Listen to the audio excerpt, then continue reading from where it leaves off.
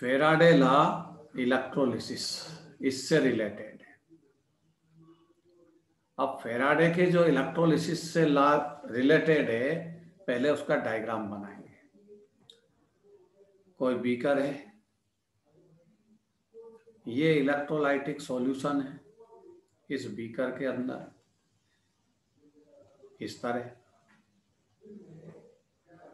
अब electrolytic solution है। कोई सा भी इलेक्ट्रोलाइट हो सकता है पॉजिटिव आयन डबल चार्ज वाला भी हो सकता है सिंगल वाला भी ट्रिपल पॉजिटिव चार्ज वाला भी हो सकता है। हम यहाँ पर केवल अभी दो टर्मिनल डिप्ट करें। एक का नाम कैथोड और दूसरे का नाम एनोड ये पॉजिटिव टर्मिनल है और ये नेगेटिव टर्म इस केस में इसको कैथोड आप कंसीडर करते हैं और यहाँ पर इसको ए नोट कंसीडर करते हैं। जब आप अब इसमें इलेक्ट्रोलाइटिक जो सॉल्यूशन है उसका भी एग्जांपल ले लेते हैं। मान लीजिए इसमें सॉल्यूशन है कॉपर सल्फेट का। वाटर के साथ है तो सॉल्यूशन है। अब क्या होगा इसमें? देखिए कॉपर सल्फेट डिसोसिएट होगा, क्योंकि वो इलेक्ट्रोलाइट है। C U two plus and S O four double minus clear ये हो गया डिसोसिएट हम एक इलेक्ट्रोड की बात करेंगे अब डिसोसिएशन हुआ मीन्स इसमें। सॉल्यूशन में क्या है? Positive ion positive ion positive ion कुछ नेगेटिव आयंस भी होंगे उतने, ये नेगेटिव आयन बहुत सारे। ये ये नेगेटिव सल्फेट नेगेटिव आयन है, कॉपर पॉजिटिव आयन है। अब आपने क्या किया? डिसोसिएशन तो ऑटोमेटिक होगा बट यहाँ पर अब करंट फ्लो किया। करंट फ्लो करना मतलब आपने इलेक्ट्रिसिटी मतलब आपने क्या फ्लो किया? चार्ज और एक्सपेरिमेंट किया। तो फेराडे का जो फ़र्स्ट लॉ है फ़र्स्ट लॉ ऑफ़ फेराडे क्या है फेराडे का फ़र्स्ट लॉ इलेक्ट्रोलिसिस से रिलेटेड कि जब हम किसी इलेक्ट्रोलाइटिक सॉल्यूशन में चार्ज फ्लो करते हैं तो इलेक्ट्रोड पर डिपॉजिटेड मास ये यहाँ इलेक्ट्रोड पर मास डिपॉजिट होगा। उसकी वैल्यू क्या है? एम डिपॉजिटेड मास क्या कंसीडर किया? एम अब इलेक्ट्रोड पर अगर कैथोड टर्मिनल की बात करें तो डिपॉजिट कौन होगा वो समझ लीजिए। एट कैथोड कैथोड टर्मिनल पर कॉपर जाएगा। पॉजिटिव आयन है जैसे ही आप इलेक्ट्रिसिटी फ्लो करोगे कॉपर सॉल्यूशन के अंदर पॉजिटिव आयन है और वो कैथोड टर्मिनल के साइड पूरे सॉल्यूशन से डिस्प्लेस होगा। यहाँ आएगा, जहाँ भी होगा। और कैथोड इलेक्ट्रोड मतलब कैथोड जो टर्मिनल है वो इलेक्ट्रॉन का सोर्स है और कॉपर पॉजिटिव आयन को इलेक्ट्रॉन की रिक्वायरमेंट है, दो इलेक्ट्रॉन गेन करेगा और कॉपर सॉलिड में कन्वर्ट होगा और उस पर डिपॉजिट हो जाए ये हो गया चारों साइड डिपॉजिट। ये डिपॉजिटेड मास है, ऑन इलेक्ट्रोड। तो फेराडे का फ़र्स्ट लॉ है इसके अकॉर्डिंग कि किसी भी इलेक्ट्रोलाइटिक सॉल्यूशन में जब हम चार्ज फ्लो करते हैं तो डिपॉजिटेड मास उस चार्ज के डायरेक्टली प्रोपोर्शनल होता है। क्यों क्या है? चार्ज का अमाउंट जो आपने उसमें फ्लो किया। Q amount of charge M deposited mass ये फेराडे के फ़र्स्ट लॉ से डायरेक्टली प्रोपोर्शनल होता है। अब क्यू क्या है? क्यू चार्ज है। वो चार्ज किसके इक्वल होता है? आई इंटू टी के। आई क्या है? करंट जिसको हम मेजर किसमें करते हैं? वन एम्पियर टाइम को किसमें मेजर करेंगे? वन सेकंड तो one ampere into one second ये बनता है वन कूलाम के इक्वल तो चार्ज क्या है? चार्ज की यूनिट क्या हुई? Coulomb one ampere into one second into equal to one coulomb तो जो चार्ज है क्यू उसके प्लेस पे हम क्या रख सकते हैं? I T M proportional I T अब यहाँ कांस्टेंट पुटअप करना पड़ेगा। तो A M equal to Z I T Z क्या है? कांस्टेंट है यहाँ पर। फेराडे के फ़र्स्ट ला का और इस जेड का नाम क्या है? जेड है इलेक्ट्रो केमिकल कांस्टेंट क्या नाम है इसका? जेड का नाम है इलेक्ट्रोकेमिकल कांस्टेंट अब जेड क्या है? इसकी डेफिनेशन समझे। तो इस इक्वेशन नंबर फ़र्स्ट में क्या करें हम? आई की वैल्यू कितनी पुटअप कर दें? वन एम्पियर और टाइम कितना ले लें? वन सेकंड तो बताओ आई और टी को आपने क्या कर दिया? यूनिट तो फार्मूला क्या आ जाएगा? A M equal to Z ये क्वेश्चन नंबर टू आ गई। आपने क्या प्रूव किया? जेड की डेफिनेशन क्या है? Z is the constant naming electrochemical constant is equal to the deposited mass M कब? When one ampere current pass for one second through electrolytic solution जब हम किसी इलेक्ट्रोलाइटिक सॉल्यूशन में एक एम्पियर करंट एक सेकंड तक फ्लो करें तो जो डिपॉजिटेड मास है इलेक्ट्रोलाइट का टर्मिनल पर, उसी का नाम जेड है। जेड एक्चुअली इलेक्ट्रोकेमिकल कांस्टेंट है और ये डिपॉजिटेड मास के इक्वल होता है इलेक्ट्रोलाइट के। जब आप one coulomb charge means one ampere current one second तक उसमें फ्लो करें। क्लियर ये फेराडे का फ़र्स्ट लॉ है। इससे हम डिपॉजिटेड मास का रिलेशन चार्ज से शो करते हैं। तो सबसे पहले इसी लॉ को नोट करेंगे और इस लॉ को नोट करने के बाद फिर हम सेकंड लॉ के सेकंड लॉ ऑफ़ फेराडे का इलेक्ट्रोलिसिस के सेकंड लॉ सेकंड लॉ में क्या होगा समझिए।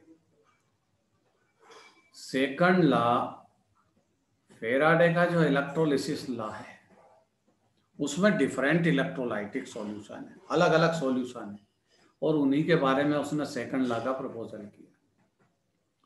देखते हैं क्या होता है। ये एक सॉल्यूशन ये दूसरा सॉल्यूशन और डिफरेंट इलेक्ट्रोलाइट है ये ध्यान रखना। सेम इलेक्ट्रोलाइटिक सॉल्यूशन नहीं है। ये तीनों में डिफरेंट इलेक्ट्रोलाइटिक सॉल्यूशन है। ये फ़र्स्ट ये सेकंड ये थर्ड इलेक्ट्रोलाइटिक सॉल्यूशन है। सेकंड ला की स्टडी कर रहे हैं हम। फेराडे का इलेक्ट्रोलिसिस लॉ का। सेकंड स्टेप क्या है? सेकंड ला क्या है? उसकी स्टडी कर रहे हैं। ये इलेक्ट्रोड इसका, ये इसका इलेक्ट्रोड ये इसका इलेक्ट्रोड ये टर्मिनल सेकंड सभी में दो दो टर्मिनल होंगे। और आपको बताना होगा, मैंने ये कनेक्ट किए, ये वोल्ट मीटर है, यहाँ से इसको कनेक्ट किया, इसको इससे कनेक्ट किया और इसको इससे कनेक्ट किया। बताइए ये कनेक्शन सीरीज़ में है या पैरेलल मैंने वोल्ट मीटर के थ्रू, हम करंट फ्लो करेंगे तो हमें उसका मेज़रमेंट भी आवश्यक है। और मैंने तीनों ही इलेक्ट्रोलाइटिक सॉल्यूशन को कनेक्ट कर दिया। तो आपका आंसर होगा कि ये सीरीज़ में कनेक्शन है। और सीरीज़ में जब कनेक्शन होता है तो इक्वल अमाउंट की करंट उनमें पास होती है। मतलब यहाँ लिख देता, ऐसे केस में सेम करंट पास होगा। Same current with same time time भी सेम रहेगा। ये इसकी मेन थीम है। इसलिए सीरीज़ में कनेक्ट है। पैरेलल होते तो फिर करंट तीन पार्ट में डिवाइड होता। यहाँ सीरीज़ में कनेक्शन है। चलिए, कितना करंट आपने पास किया, अभी उसकी कोई लेना देना नहीं। ये सॉल्यूशन किसका है? ये सॉल्यूशन है NaCl का। इलेक्ट्रोलाइट होता है NaCl उसका सॉल्यूशन है। ये सॉल्यूशन कॉपर सल्फेट का है। ये भी इलेक्ट्रोलाइट है और ये एल्यूमिनियम क्लोराइड का है। तीन सॉल्यूशन है इलेक्ट्रोलाइट के तीनों डिफरेंट है। क्योंकि इलेक्ट्रोलिटिक सॉल्यूशन डिफरेंट होंगे, तभी फेराडे का सेकंड ला बात होगी, उसने डिफरेंट इलेक्ट्रोलाइटिक सॉल्यूशन के बारे में बोला है। चलिए, अब ये समझें इनकी थीम कि यहाँ क्या होगा। यहाँ होगा कौन? अरे यहाँ एन प्लस होगा आयन पॉजिटिव आयन की बात करेंगे। जो पॉजिटिव आयन की बात होती है फेराडे के इलेक्ट्रोलिसिस लॉ में, वही नेगेटिव आयन की बात होती है। हम पॉजिटिव आयन से समझेंगे। इस सॉल्यूशन में कौन होगा positive ion copper two plus इसमें कौन होगा? एल्यूमिनियम थ्री पॉजिटिव ये सॉल्यूशन के अंदर है। आपने करंट पास किया। कितना करंट पास किया वो भी सुन लीजिए। वन फेराडे आपने करंट पास किया। अब ये वन फेराडे कहाँ से आया? वन फेराडे होता क्या है? वन फेराडे चार्ज है। और ये वन फेराडे होता है nine six five zero zero coulomb के इक्वल अब कूलाम कहाँ से आ गया तो कूलाम में तो क्या होता है? अरे कूलाम में तो होता है ampere. Into second one second into one ampere equal to one coulomb और यहाँ तो nine six five zero zero coulomb है। तो ये आया कहाँ से? पहले इसको समझे। वन फेराडे जो चार्ज होता है, वो बिगेस्ट यूनिट है। करंट जो हम चार्ज फ्लो कर रहे हैं चार्ज की स्मॉलेस्ट यूनिट क्या है? कूलाम बिगेस्ट यूनिट क्या है? फेराडे में हमने कन्वर्ट की। वन फेराडे क्या होता है? वन फेराडे का मतलब होता है charge of one mole of electron ये वन फेराडे की स्टोरी किसका चार्ज? वन मोल इलेक्ट्रॉन का चार्ज वन फेराडे के इक्वल होता है। और one Faraday nine six five zero zero coulomb के इक्वल होता है। फेराडे के सेकंड ला की स्टडी कर रहे हैं। भूलिए मत कि हम स्टडी क्या कर रहे हैं। अब हम वन फेराडे को कैलकुलेट करें पहले। One Faraday equal, charge of one mole of electron तो वन मोल किसके इक्वल होता है? Six point zero two three into ten power twenty three. ये तो वन मोल है। वन मोल इलेक्ट्रॉन हो गए, अब उन पर चार्ज कितना एक इलेक्ट्रॉन पे चार्ज कितना होता है? One point six into ten power minus nineteen coulomb. इसका हिसाब किताब लगाओ, कैलकुलेशन करोगे तो ये कूलाम में कितना आ जाएगा? इतना। Nine six five zero zero coulomb story खत्म हुई, फिर से हम सेकंड ला पर आ जाते हैं। मैंने आपको केवल कैलकुलेशन की है, वन फेराडे क्या होता है? तो one Faraday, one mole electron के चार्ज के इक्वल होता है, जो कैलकुलेट कर दिया। तो कहानी यहाँ से चलेगी फेराडे के सेकंड ला की, कि one Faraday equal to nine six five zero zero coulomb. क्योंकि स्मॉलेस्ट यूनिट को यूज़ करते हैं तो डिफिकल्टी आती है, इसलिए बिगेस्ट यूनिट में कन्वर्जन किया है। अब देखिए क्या होता है। हमने चार्ज तो सेम फ्लो किया था ना, ये लिखा है यहाँ। Same current with same time. अब हम ये सोचें कि इसमें हमने ऐसा कंसीडर करें, इस पूरे इलेक्ट्रोलाइट, तीन सॉल्यूशन है। इन तीनों में हमने सेम करंट, सेम टाइम तक फ्लो किया। मतलब कितना फ्लो किया ये देखते हैं। हमने वन फेराडे चार्ज फ्लो किया कितना किया? One Faraday. तो कितने गुलाम चार्ज फ्लो किया होगा? कितना अब पहले फ़र्स्ट वाला जो इलेक्ट्रोलाइटिक सॉल्यूशन है, उसकी बात करें। उसमें यहाँ कैथोड टर्मिनल पर डिपॉजिट कौन हुआ? सोडियम अरे सोडियम पॉजिटिव आए तो सोडियम ही डिपॉजिट होगा ना कैथोड पर। सेकंड में कौन डिपॉजिट हुआ? कॉपर ये डिपॉजिट हो गया मास और तीसरा? यहाँ एल्यूमिनियम डिपॉजिट होगा। आपने वन फेराडे चार्ज तीनों में सीरीज़ में, इसलिए तीनों में ही वन फेराडे चार्ज फ्लो किया है। वो nine six five zero zero coulomb के एक वाले। अब कहानी क्या होगी तीनों की सुनिए। सेम करंट है। एन जब डिपॉजिट होता है तो एक इलेक्ट्रॉन को गेन करता है। ये गेन किया और ये सॉलिड में कन्वर्ट हो गया और जाकर के डिपॉजिट हो कॉपर क्या करेगा? अरे कॉपर जब डिपॉजिट होगा तो उसको कैथोड टर्मिनल से दो इलेक्ट्रॉन चाहिए। ये डिपॉजिट हो गया कॉपर सॉलिड बन गया। एल्यूमिनियम की स्टोरी क्या होगी? एल्यूमिनियम पर थ्री पॉजिटिव चार्ज है तो वो तीन इलेक्ट्रॉन लेगा कैथोड से, और तब कैथोड टर्मिनल पर डिपॉजिट होगा सॉलिड फेस में। ये इन तीनों की स्टोरी है। सोडियम ने एक इलेक्ट्रॉन एक्सचेंज किया मतलब गेन किया। ठीक? Gain of electron called reduction reduction process होता है कैथोड टर्मिनल पर। इलेक्ट्रॉन को गेन किया। गेन करके वो सॉलिड में कन्वर्ट हुआ डिपॉजिट हो गया। अब देखते हैं चार्ज तो हमने सेम करंट सेम टाइम तक फ्लो किया था। Same I and same T क्योंकि ये सीरीज़ में कनेक्ट और हमने ऐसा कंसीडर किया कि हमने वन फेराडे चार्ज फ्लो किया।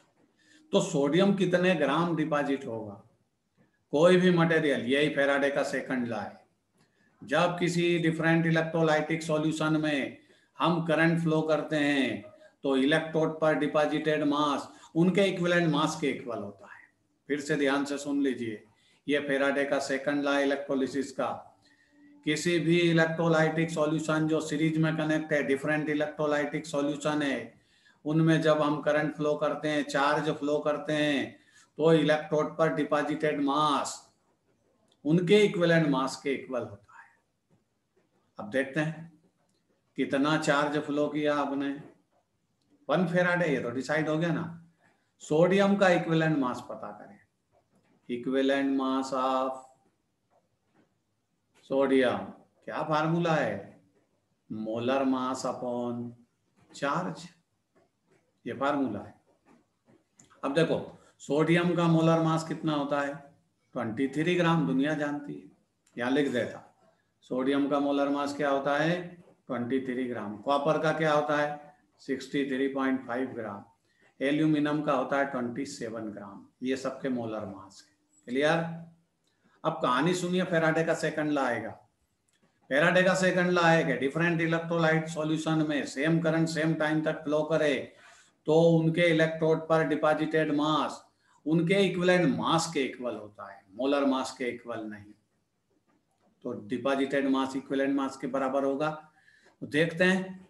Equivalent mass of sodium sodium का इक्वलेंट मास पता करने का फार्मूला है मोलर मास अपॉन चार्ज ये पहले पढ़ा चुके हैं फैक्टर होता है डिपॉजिट कितना चार्ज है? वन कितने ग्राम डिपॉजिट होगा सोडियम ट्वेंटी थ्री ग्राम क्योंकि ट्वेंटी थ्री ग्राम उसका इक्वलेंट मास है। यहाँ लिख देता। सोडियम कितने ग्राम डिपॉजिट हुआ? ट्वेंटी थ्री ग्राम कितने से?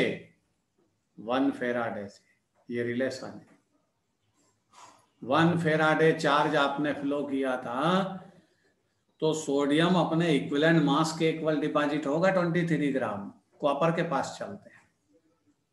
कॉपर का इक्विलेंट मास पता करेंगे। Equivalent mass of copper equal to molar mass upon charge molar mass कितना है?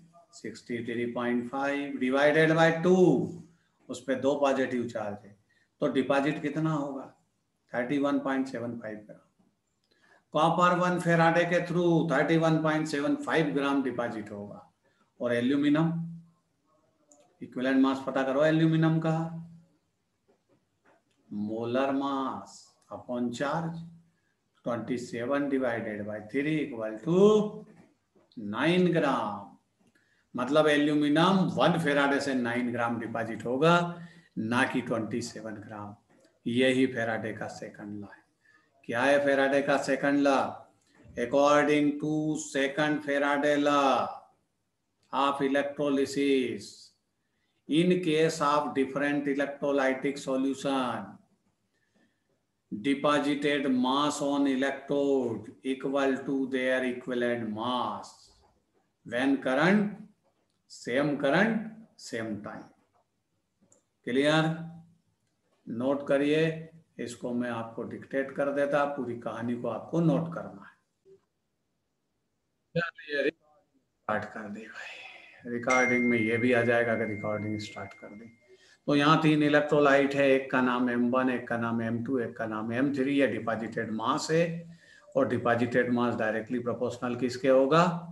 E one E two three M की वैल्यू क्या होती है? फ़र्स्ट लॉ से। ये एम की वैल्यू फ़र्स्ट लॉ से। तो क्या करें? एम की प्लेस पे क्या रख दें? जेड आई टी ये कांस्टेंट भी पुटअप हो गया, ये ई e के इक्वल हो गए अब ई e क्या है? ई केमिकल कांस्टेंट के नाम से फ़ेमस है। वो इलेक्ट्रोकेमिकल कांस्टेंट था। ये केवल कांस्टेंट के नाम से फ़ेमस है इक्विलेंट मास है, इसका मतलब सीधी सी बात। अब अगर इस फार्मूले में कर दें I equal to one ampere और टी इक्वल टू कर दे वन सेकंड तो दुनिया जानती है कि जेड किसके इक्वल हो जाएगा? ई के। आगे बात समझ में मतलब क्या हुआ? अरे जेड इलेक्ट्रोकेमिकल कांस्टेंट था, वो इक्विलेंट मास के इक्वल हो गया। कब? जब आप एक एम्पियर करंट एक सेकंड तक उस इलेक्ट्रोलाइटिक सॉल्यूशन में फ्लो कर। और डिपॉजिटेड मास कैलकुलेट करने का फार्मूला क्या है? E into I into T किसी भी इलेक्ट्रोड पर, अगर डिफरेंट इलेक्ट्रोलाइट है सेम इलेक्ट्रोलाइट है, कुछ भी है, आपको अगर उस पर डिपॉजिटेड मास पता करना है तो ये फार्मूला डायरेक्ट लगाना। इससे आंसर आ जाएगा। ई e क्या है? अरे ई इक्विलेंट मास है। और इसको पता करने का formula molar mass upon charge ये लगाना पड़ेगा। आई न्यूमेरिकल में गिवन रहेगा। T time in second put up करना ध्यान रखिए। Nine six five zero zero coulomb, ये तो फेराडे की यूनिट है। तो डिपॉजिटेड मास आपको आ जाएगा। ये सेकंड लॉ आप फेराडे है फार्मूला है। इसको नोट करिए, दो तीन डेफिनेशन में बोल दूँगा। और डिपॉजिटेड मास का फार्मूला आपके सामने लिखिए।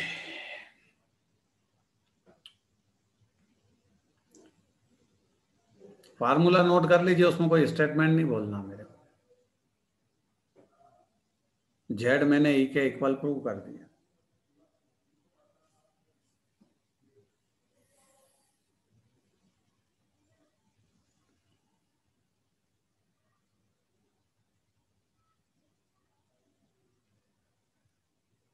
साधिया मुलानी की आवाज़ नहीं आ रही है, आज क्या बात है?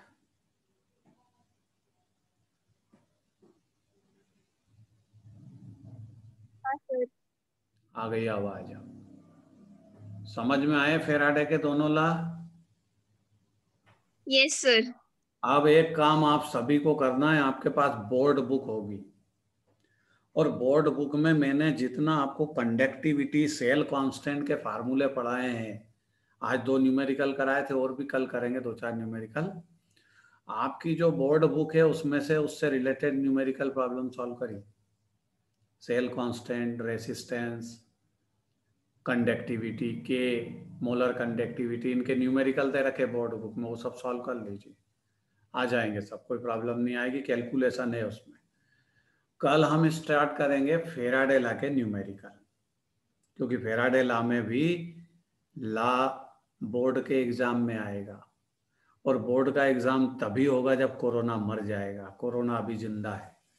इसलिए फिफ्टी फिफ्टी परसेंट पॉसिबिलिटी मान के चलिए। सीबीएसई ने तो अपना सिलेबस कम कर दिया है। पैटर्न चेंज कर दिया है। दो पार्ट में एग्ज़ाम लेगा वो। आधा सिलेबस सेमिस्टर सिस्टम टाइप कर दिया है। आधा एग्ज़ाम अक्टूबर में लेगा। फिर कोरोना आ जाएगा तो आधा मना कर देगा और बोलेगा, फ़र्स्ट सेमिस्टर के बेस पर सब पास तो फिफ्टी फिफ्टी पॉसिबिलिटी है कि हमारा जनरल प्रमोशन हो जाए और रिकॉर्डिंग स्टार्ट है, गड़बड़ हो जाएगी।